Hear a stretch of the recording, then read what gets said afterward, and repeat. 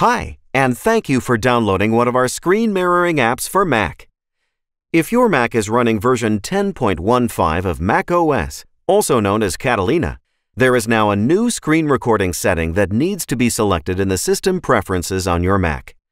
Once you press the Start Mirroring button on our application, your Mac will show this message.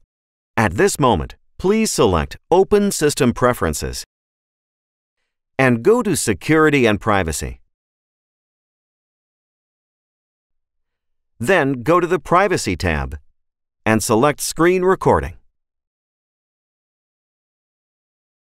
After that, click on the check mark next to the screen mirroring app you are using. When you have the screen mirroring app running, you will see this message. Please select Quit Now. Now it is done.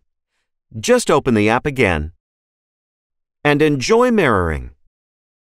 If you have any questions, please contact us on support at airbeam.tv.